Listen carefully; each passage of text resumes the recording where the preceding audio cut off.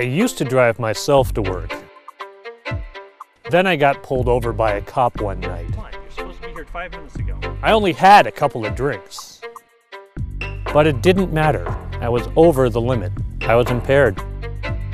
They put me in jail, and now I have to get a ride to the office every day.